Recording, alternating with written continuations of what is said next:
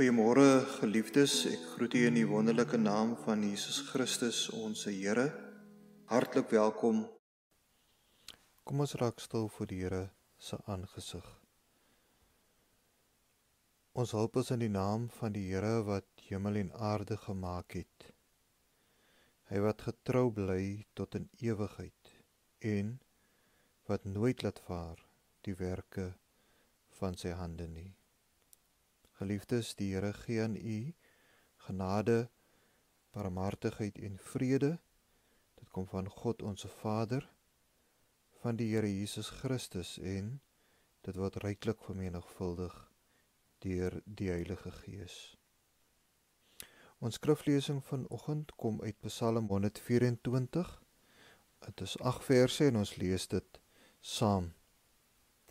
Vers 1 as die Here nie vir ons was nie. Laat Israel dit sê.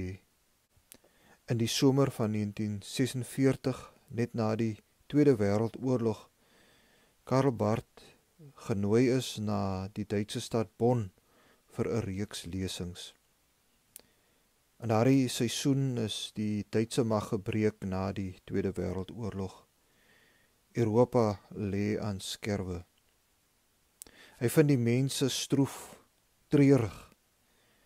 Dis 'n tyd, dis 'n seisoen wat moeilik is, pynlik, swaar, 'n donker wolk wat hang oor die stad. Hulle moet van voor af leer om ten minste te glimlag. Ons voel ook soms so. Nie net die lockdown en die swaar gemoed van geliefdes wat aan die dood afgestaan is nie, Maar in verskeie situasies voel ons soms asof ons weer moet leer om te lag. Psalm 124 was vir die pelgrims wat daardie lied gesing het. Was dit 'n lied wat hulle geleer het om weer vir God te loof en te prys om weer die vreugde te kon beleef. Die pelgrimsliedere min of meer van Psalm 120 tot 134 druk uit die pad wat die gelowiges geloop het. Dit druk uit hoe dat hulle verskeie uitdagings, verskeie knellende uitdagings beleef het.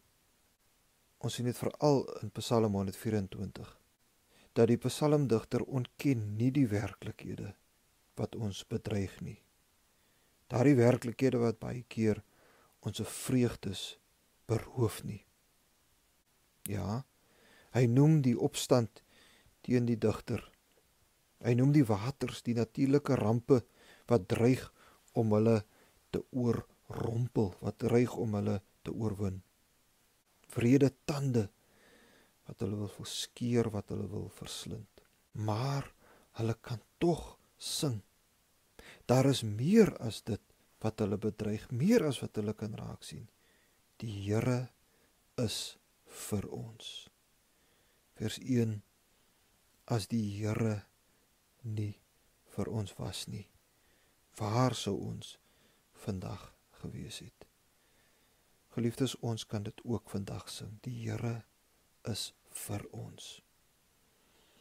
Die afgelope week na half bestudeer ek weer Andrew Murray se leiding oor die Heilige Gees.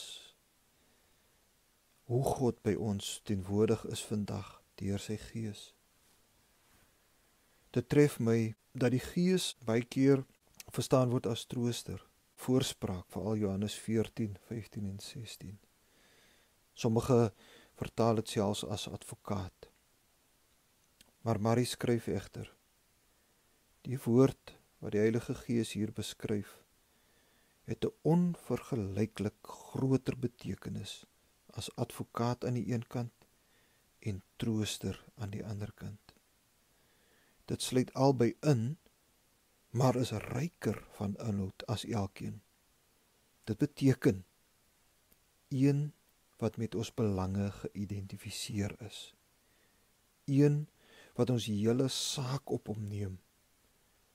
Hy is een wat onderneem om ons deur ons moeilikhede te help een wat in elke opsig ons verteenwoordiger word en die persoonlike agent wat ons besigheid vir ons afhandel sluit kwotasies geliefdes ons hulp is in die naam van die Here wat hemel en aarde gemaak het amen Geliefdes ontvang die Here se seën en sy teenwoordigheid deur die Heilige Gees op dit wat u vandag in die gesig staar. Die Here sal jou seën en jou bewaar. Hy sal jou belange afhandel. Hy sal jou verteenwoordig. Hy sal jou die oorwinning gee. Amen.